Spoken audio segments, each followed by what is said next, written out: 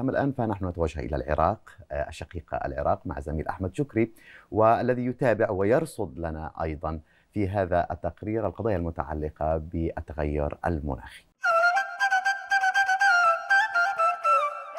تحياتي لكم زملائي ومتابعي برنامجنا العربي بيت للكل ونحن اليوم نتحدث عن قمة المناخ التي حدثت في شرم الشيخ حقيقة. الكل هو الشغل الشاغل لكل بلدان العربية والعالم بأجمع هي قضية المناخ والتغيرات الحاصلة في الآونة الأخيرة بالإضافة إلى المحاولة التقليل من الانبعاثات الحرارية وغيرها من الأشياء التي أضرت بالبيئة والعالم. خلينا في هذه الحلقة نرحب من العراق بالدكتور عقيل غازي التدريسي في الجامعة المستنصرية والخبير والمختص في ديناميكية الغلاف الجوي. حياك الله دكتور منورنا أهلا وسهلا ومرحبا. بك أستاذ الكريم ومن على شاشة العراقية نرحب بجمهورك الكريم في البلدان العربية الشقيقة وفي العراق وشكرا لكم لإتاحة هذه الفرصة. نورتنا، دكتور اليوم قمة المناخ نعم. وشرم الشيخ احتضنت أكثر من 197 دولة حول هذه القضية المهمة وتأثيراتها. البعض يرى من خلال هذه القمم هي بادرة خير بالنسبة لإيقاف انبعاثات الغازات وغيرها من وأيضا بالإضافة إلى تغيرات المناخ الحاصلة بارتفاع درجات الحرارة ومخاوف المواطن في أي بلد في العالم من التغيرات الحاصلة في الآونة الأخيرة كيف تنظر إلى المشهد الحالي؟ طبعا ابتداء الإنسانية بشكل عام يعني خطت خطوات كبيرة على مستوى أو محاولة إيقاف انبعاثات الغازات الدفيئة واللي سببت خلال القرن المنصرم حقيقة يعني ظواهر كثيرة بدأت نحس بها على شكل تطرف طقسي واللي ممكن أن تتحول بالمستقبل البعيد وليس القريب إلى تغير في المناخ بشكل عام ومفهوم الاحترار العالمي وزيادة درجات الحرارة بشكل عام يعني واضح للكل ومسموع ومعروف عند الجميع. مم. حقيقة هذه الملتقيات هي ملتقيات مهمة.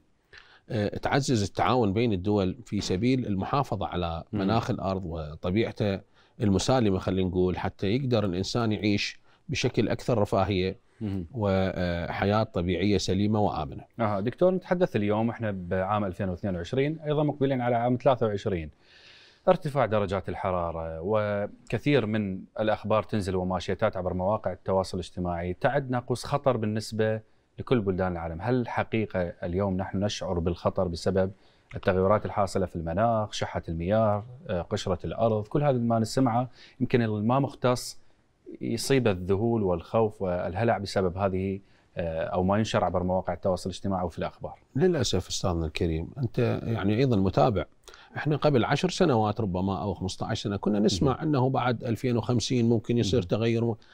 اللي إذا تلاحظ البشرية بشكل عام أنه هذه التغيرات وهذه الأحداث المتطرفة للطقس بدأت تحدث بشكل أقرب من هذا الموعد اللي كان متوقع.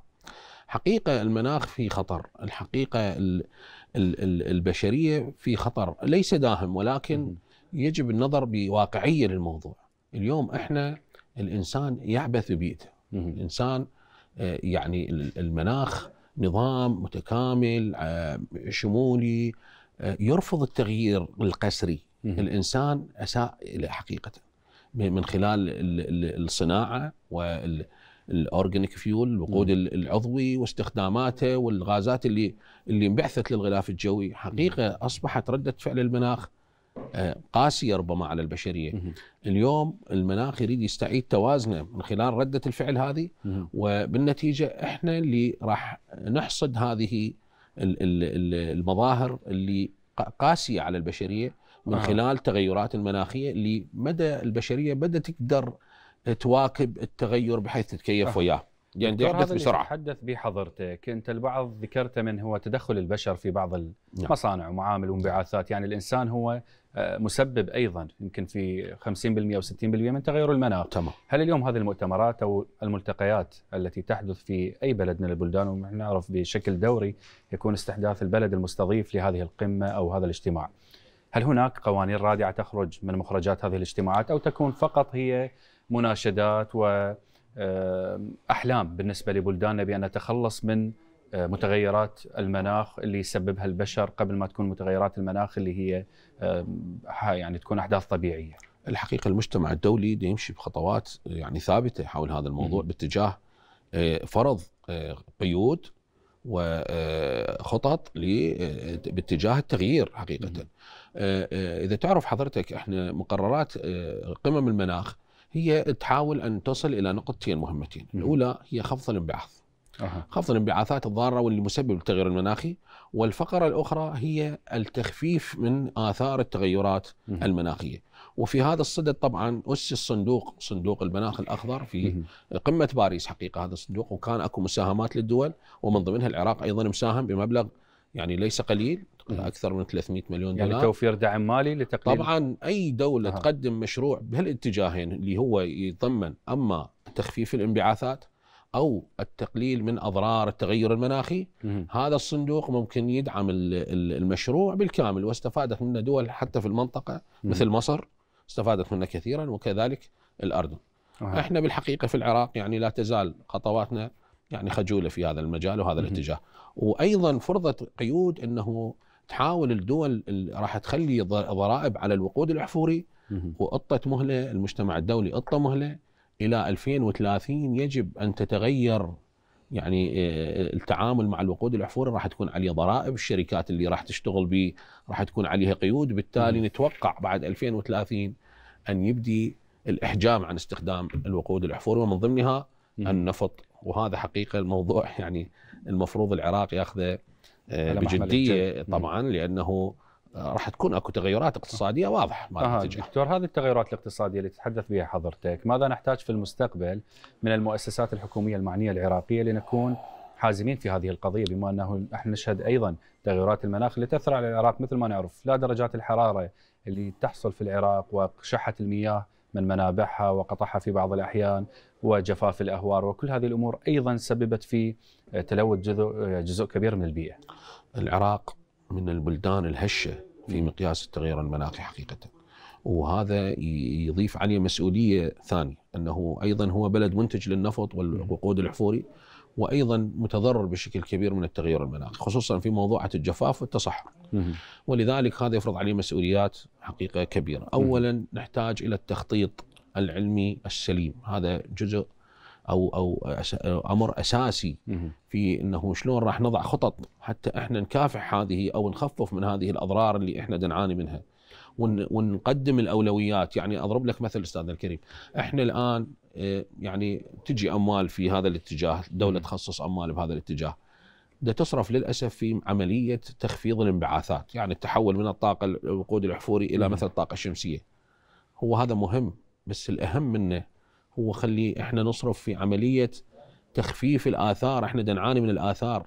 الانبعاثات كانت خلال المئة عام السابقة هي من دول صناعية أخرى. مم. أنا جاي أدفع ضريبتها. أنا المفروض اليوم المفاوض العراقي يتحرك باتجاه أنه أنا ضحية وليس شنو مساهم في عملية مم. التغير المناخي. لذلك لازم المجتمع الدولي يدفع الضريبة إلى هذه البلدان ومن ضمنها العراق. مم. لأن إحنا ضحايا لهذا التغير وليس مسببين. رغم أنه عندنا انبعاثات حاليا صح؟ ولكن خلال المئة عام السابقة العراق غير موجود على خارطة الانبعاثات الملوثات. ولذلك بلدان صناعية بها طبعا. ضخمة الصين والهند والولايات المتحدة الأمريكية هي أكبر الدول النامية. الباعثة للغازات الصناعية مم. المسببة للتغير المناخي، لذلك إحنا يجب أن نتحرك بهالاتجاه. إحنا التغير المناخي دا يلعب لعبته في العراق. مم. يعني آثاره واضحة وصريحة حقيقة هذا. ولذلك يجب أن المجتمع الدولي يقف معنا في هالاتجاه، المفاوض العراقي يجب أن يتحرك في هالاتجاه. إحنا الأولوية الأولى هي تخفيف آثار التغير المناخي، هذه لازم تكون الأولوية. أما الأولوية الثانية والأهمية الثانية هي أيضا خفض الانبعاثات وهي شيء مهم وجيد. ولكن الأهم لأنه يجوز إحنا راح نوصل إلى مرحلة ما راح نقدر حتى نخفف الانبعاثات، إحنا الجفاف هذا إيش قد يكلفنا حاليا؟ العواصف الغبارية جد قد تكلفنا. طبعا. زراعة العراق في خطر. آه، آه، البيئة العراقية في خطر داهم. التلوث في مياه الأنهار وصل مستويات يعني خطيرة. طبعا. هذا كله حقيقة يحتاج إلى تخطيط وإدارة جيدة. وجهد سياسي أيضا حتى نقدر نحصل من المجتمع الدولي. المجتمع الدولي انتهازي والدول بشكل عام هي طبيعتها انتهازية. تحاول تحافظ على مصالحها. إحنا وين من هذا؟ ما يصير إحنا نناغم المجتمع الدولي دون الحصول على أو تقديم أولوياتنا ومصالحنا في بداية أو في على رأس القائم يجب أن تكون. حتى نقدر إحنا نحافظ على مستوى معين من البيئة النظيفة وبعد ذلك ننتقل إلى موضوع خفض الانبعاثات. هذه أعتقد هي الأولويات والأهميات يجب ترتيبها بهذا الشكل. دكتور يمكن الحديث حقيقة شيق عندما نتحدث عن العراق وقضية الحفاظ على البيئة العراقية لأن إحنا المتضرر الوحيد وكثير من البلدان العربية إن كان في قارة آسيا أو أفريقيا هي الخاسر الوحيد بسبب انبعاثات وتلوث البيئة بسبب البلدان النامية والبلدان الصناعية الحقيقية ويدفع ضريبتها المواطن أو الشعوب العربية بصورة عامة بسبب يمكن تكون يعني الأخطاء السياسية في الدفاع عن البلدان لحماية مصالحها، اليوم ماذا نحتاج لإنقاذ البيئة العراقية بشكل مختصر أيضا تصحر. في الآونة الأخيرة نشاهد مشاريع نحاول تنفيذها والاتفاق مع بلدان أخرى وهو إنشاء حزام أخضر وغيرها بالإضافة إلى مطالبات الدولة والحكومة العراقية بأن تكون منابع المياه مستقرة وكميات المياه الواصلة إلى دجلة والفرات تكون بمناسيبها الطبيعية. حقيقة معظم المشاكل اللي تعانيها العراقية متآتية من يعني الطرفين أو مسببين. أحدهما خارجي ومن ضمنها طبعا المناخ، المناخ العراقي لا يصنع في العراق.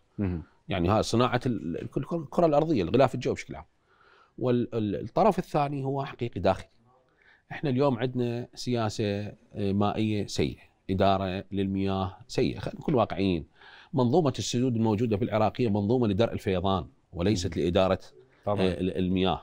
آه، أساليب السقي عندنا أساليب طبعا تعرف حضرتك 70% من المياه في العراقيه تذهب للسقي 30% من الاستخدامات الصناعية والبشرية. ف يعني منظومات السقي متخلفة طرق السقي يعني آه، أكل عليها الدهر. يعني المفروض هذه كلها تقيم وتبحث حقيقة. حتى بعدين إحنا لما نجي نفاوض المجتمع الدولي إحنا ننطلق من من من من قوة يعني من الداخل بالضبط نعم. إحنا مغطين كل مشاكلنا المشاكل الآن أصبحت واضحة أنتم السبب حتى نقدر مم. نكون مفاوض قوي ونحصل على مصالحنا حتى بأقل قدر ممكن مم. آه هذه العملية ما تتم إذا لم يكن مصدر القرار المراكز البحثية استاذنا المراكز البحثيه طبعا نحتاجها بشكل كبير. طبعا مم. إحنا اليوم إذا تريد تقرأ سياسة الغرب وأمريكا والولايات المتحدة بشكل بعد عشر سنين روح اقرأ مراكز الدراسات إيش عندهم يعني ينفذوها بشكل هذا هذا السياق العلمي الصحيح. إحنا اليوم نفتقر إلى مراكز بحثية متعلقة بالمناخ بالطقس بالتصحر آه، بالتغيرات المناخية. هذه مهمة في الآونة الأخيرة. أصبحت الشغل الشاغل لكل المجتمع الدولي. اليوم قرار الأكاديمي بعيد عن القرار التنفيذي. يعني ماكو أي صلة. اليوم إحنا نحكي لكن يعني شكرا وسائل الإعلام تستقبلنا لكن الجهات التنفيذية حقيقة بعيدة بعيدة. غياب التنسيق بين دوائر الدولة. اليوم تلقى كل وزارة كانتون معزول.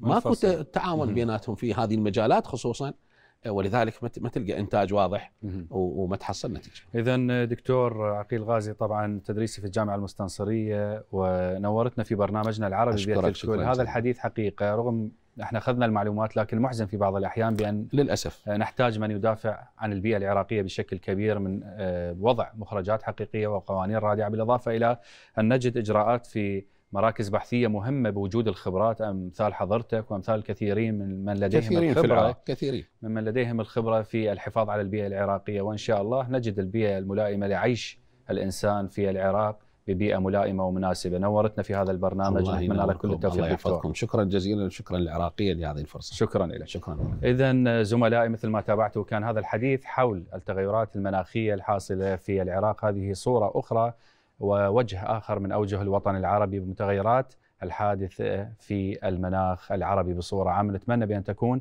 بيئة مناسبة وسليمة لكل بلداننا العربية وأيضا للعالم أجمع تحياتي لكم.